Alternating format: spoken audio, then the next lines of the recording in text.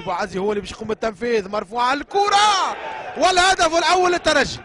الهدف الأول للترجي الرياضي التونسي. ثم لاعب من جانب النجم الرياضي الخليجي. هو اللي يلمس الكرة.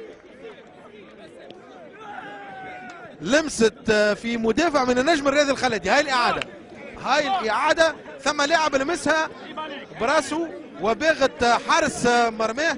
تو ثبتوا في 89 دقيقة لعب.